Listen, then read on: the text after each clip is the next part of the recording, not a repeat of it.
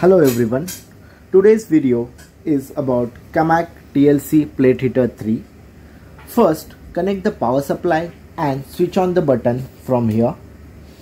This TLC plate heater used for heating HPTLC plates during the derivatizing reaction.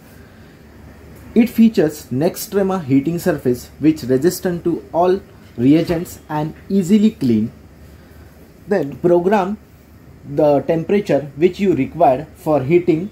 So here you can see this is the red button you have to press like this and you can set the temperature from here either you can increase or decrease as you require for the heating. Then you have to keep your plate on this surface. This 20 by 20 heating surface has a grid lines which will help you do correction of the plate. And the plate heater is protected from the overheating now I will explain you how to clean the surface.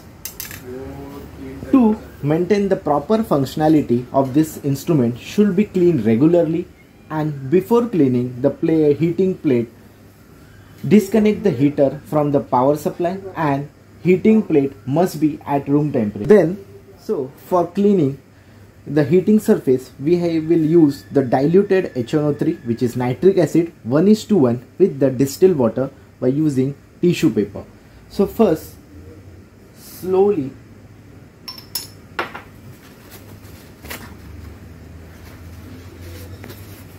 you pour the solution and just by using the tissue paper you just clean the surface